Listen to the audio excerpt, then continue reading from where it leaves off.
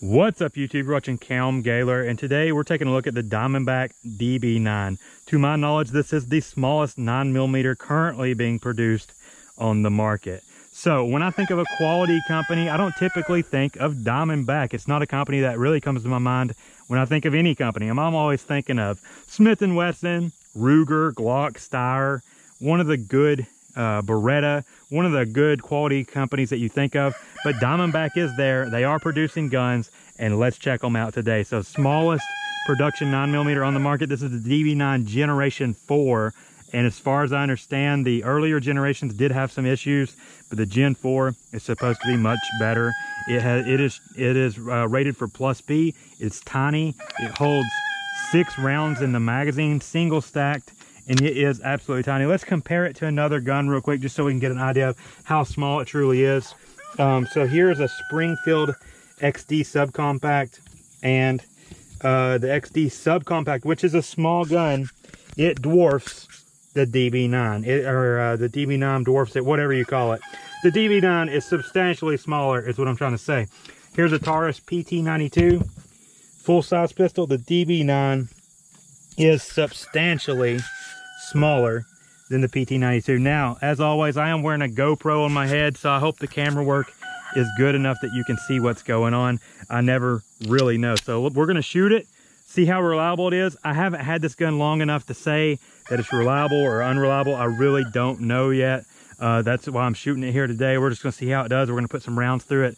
Hopefully it's reliable. If it's reliable and it stays reliable, I'm gonna carry it some because I love the size of it, but I'm a little uh, leery or weary, whatever you want to say, of Diamondback. I just don't know if it's going to be a reliable gun. So I've only got the close-up targets here because I feel like this is a close-up pistol. Let's try to hit that bowling pin on the milk crate though. Got him. Got him. Miss. Okay, let's try again. Miss. Got him. Got him. So far, ran that magazine with no issues. Hit what we're aiming at. It does have good sights to be such a small pistol.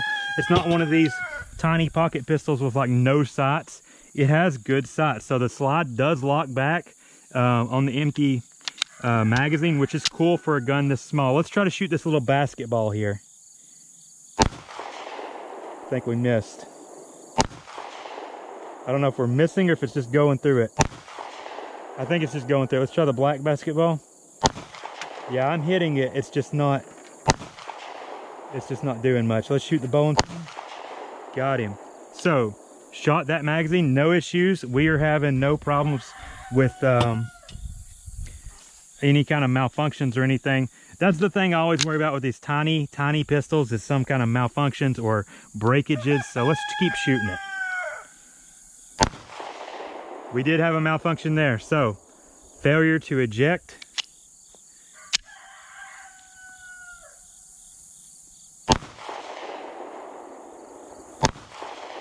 Missed. There we go. This little thing does kick pretty hard. So we had a malfunction. Let's keep shooting it. Now this is one of these guns that you're gonna keep it clean. You're probably not gonna shoot it often. And when you do shoot it, you're probably not going to put a ton of rounds through it. So it may be one of these guns that is reliable when it's clean, and once it gets dirty, it probably gets less reliable. That's what I would say. We're going to finish up this box of ammo, though, just to see if we have any more malfunctions. Um, that's the first malfunction that I've had with it, but like I said, with these uh, tiny guns, I just really want to test it out before I'm willing to carry it um, often. So let's see see if we get any more issues out of it. Malfunctions are pretty common on this channel. You always watch these big YouTubers that have gun channels and it's like, oh, they never have a malfunction. Well, let me tell you a secret. A lot of these guys, they just don't show you the malfunctions because they happen with name brand guns all the time. Your SIG P320s, notorious for malfunctioning when like a Glock won't. I mean, honestly.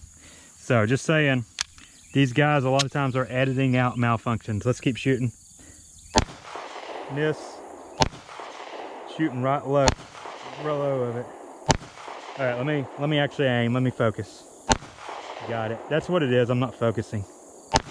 Got it. No issues out of that magazine. Let's try again.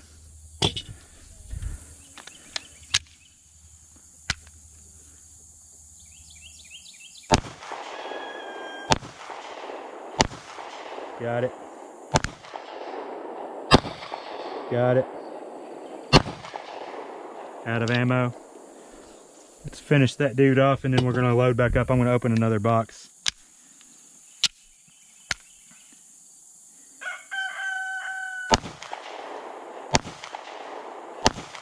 Got him. All right, we're gonna shoot as fast as we can. And we're out of ammo. So we're gonna load it back up. And let's just shoot three more magazines worth. So we're gonna load back up. I'm gonna open another box.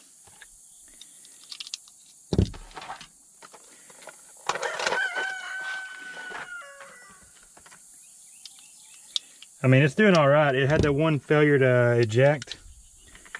But with a tiny, tiny gun, almost, uh, almost give it a little leeway compared to these big guns. When a big gun starts to malfunction, like this Taurus over here, there's something wrong with it because they shouldn't malfunction ever. Uh, that big Taurus PT92, it's probably going to have to go back if I can't figure out what's wrong with it because it's having issues. That PT92 has never had a malfunction ever. The Springfield's never had a malfunction. But these pocket pistols, almost every single little pocket pistol I've ever had uh, has a failure to eject on occasion. It just happens. Now, this is not a gun that I would want to put a ton of rounds through. For one, it kicks a lot. But two, I don't want to wear it out. I would not want to damage the gun by just shooting it like thousands and thousands of rounds. So I'm going to shoot it as fast as I can into the hill. No issues there. Let's load back up. I'm going to shoot it slowly. No issues. So it seems pretty reliable. Just had that one issue. We're to go ahead and load back up and shoot it fast again. I'm to do two round burst.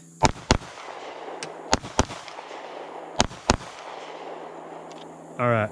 I think I'm to load up one more time just to prove to myself that it seems to be pretty reliable. So last time loading up, we're just to do more of the same.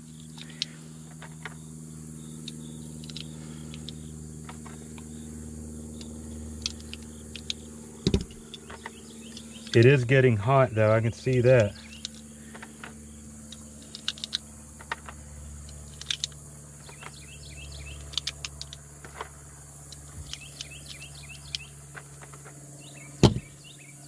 six round magazines. It doesn't take much, but I mean, that's better than most J-frames or five rounds.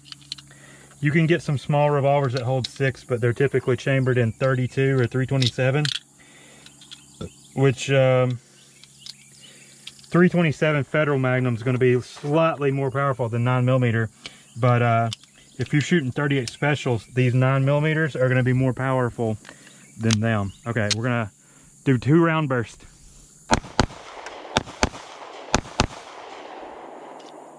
Nice. Okay, we're gonna do a mag dump. No issues. I'm gonna do another mag dump.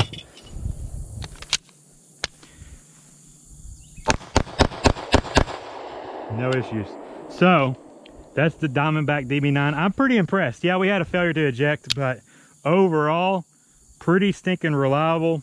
Accurate enough at close range. I wouldn't want to shoot it you know, long distance or anything, but it seems pretty stinking cool. I'm impressed by it. Maybe Diamondback is one of these companies that we need to check out more often. It's just a company that I don't particularly think of very often. Another thing about it, features. It's got grip, uh, it's got texturing on the front and the back of the grip, magazine release just on the one side. It does take apart just like a Glock, locks back on the last, uh, on an empty magazine. And you do have, I think it takes Glock 43 sights. So any Glock 43 sights should, should fit on the Gen 4 DB9. It's a good looking gun. It looks like a little miniature Glock. I like it. As long as it stays reliable, I'm going to keep shooting it. I'll do a long-term review in the future. Thanks for watching, guys. You're watching Cam Gaylor. If you ever want to support my channel, you can. On my Patreon, you can go over there and join my Patreon. I also have channel membership you can join. And there is also a Venmo link in my bio. Thanks for watching, guys. If you want to leave a like, comment, I would love to hear from you. And I'll see you in the next video. Bye.